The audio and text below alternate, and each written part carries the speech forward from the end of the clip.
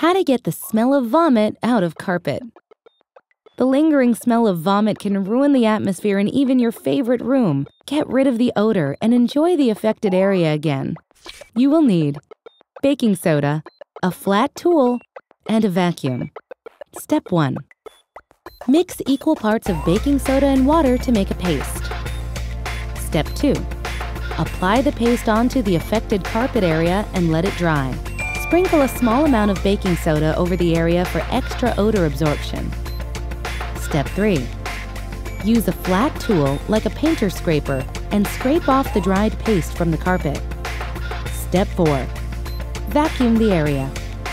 Step 5. Scrape away any remaining paste and vacuum again. Your carpet will now be odor-free. Did you know? The Pazyryk carpet was found in the 1940s in a tomb in southern Siberia. It is the oldest surviving knotted carpet at over 2,000 years old.